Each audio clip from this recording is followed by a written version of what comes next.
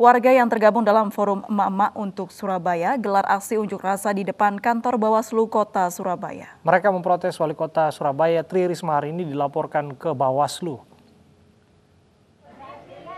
Mama pendukung Wali Kota Surabaya Tri Risma hari ini mendatangi kantor Bawaslu Kota Surabaya menolak laporan Risma yang dianggap tidak netral dalam pemilihan Wali Kota Surabaya.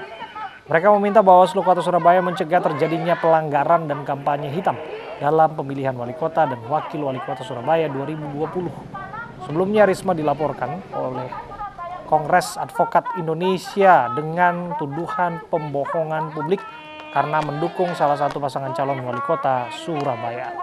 Namun, Komisioner Bawaslu Kota Surabaya Usman menyebut unjuk rasa emak-emak ini salah sasaran. Seharusnya unjuk rasa ditujukan ke Polda Jawa Timur sesuai tempat pelaporan.